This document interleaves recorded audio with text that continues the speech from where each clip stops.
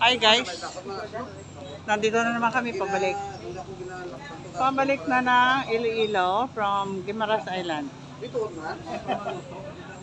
So ito yung dumarating na ano.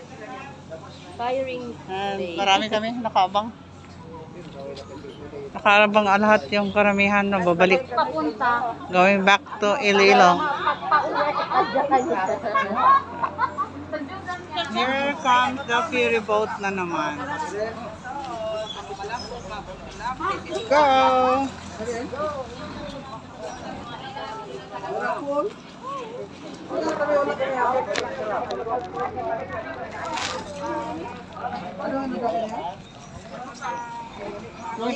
Balik na kami sa boat, sa ferry boat.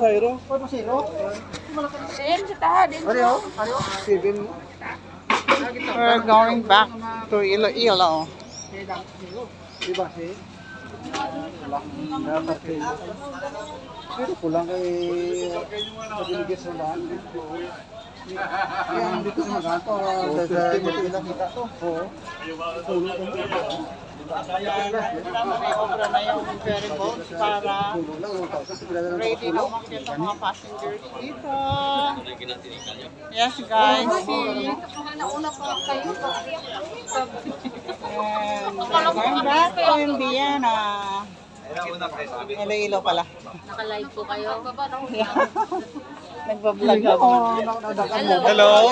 Say hello to my channel. Thank you for watching. Oy, kay kay kamulo nga may rapon. Yeah, ito na kami, pabalik na. Ah, grabe. Mainit tayo yung lugar na to. Pero this is Jordan. Guimaras. Yan. Ah, Guimaras Island.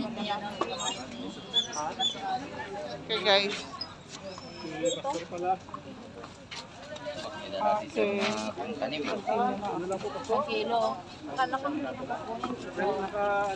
Here. Thank you. Salamat. Ito malapit sa driver pa. Yan, dito tayo. Dito naman tayo sa naman. Bakit ano? Here we are. Sa harap kami ng captain. Captain of the boat.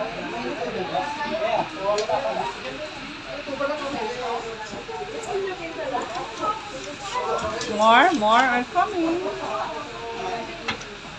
More are coming. Waiting, waiting para mapuno. Punit 80 packs kailangan 80 passengers ang capacity ng ferry boat na to. Bago sila mag-stop ng papakit. There must be 80. Kailangan 80.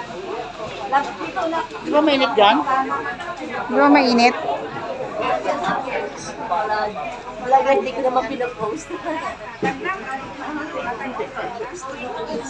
Okay, kuha, picture.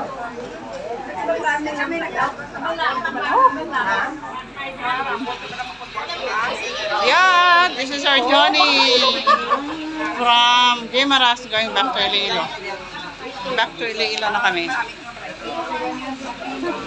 Forward nyo na lang. Forward sa Sargas. Sa aking Facebook.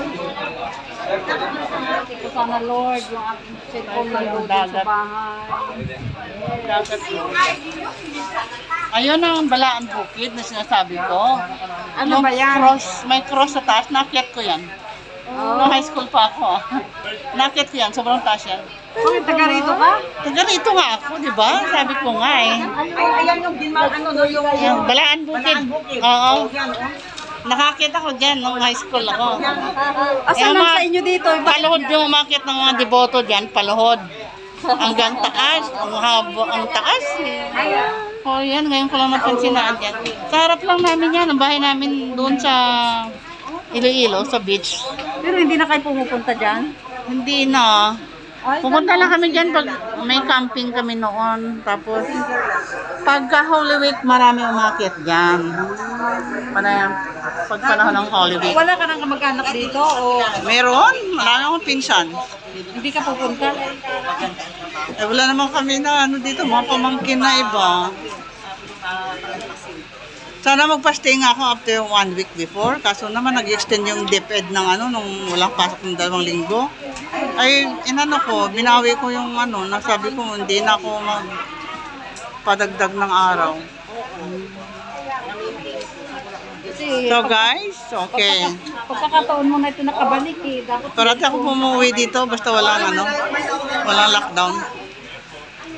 Okay guys, ito din ang sasakyan mo. thank you for watching. Ano? Ito din ang sasakyan mo.